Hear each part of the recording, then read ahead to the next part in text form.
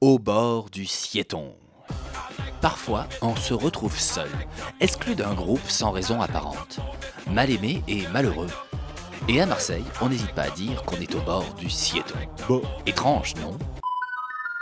Le siéton viendrait du latin adsidere, qui signifie s'asseoir, et qui, après des siècles d'évolution, a donné le mot assiette. Du coup, le siéton, c'est une petite assiette.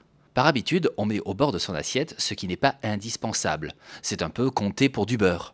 Mais au bord de la petite assiette, le siéton, c'est carrément la place de ce qu'on ne mangera pas, de ce qui nous dégoûte.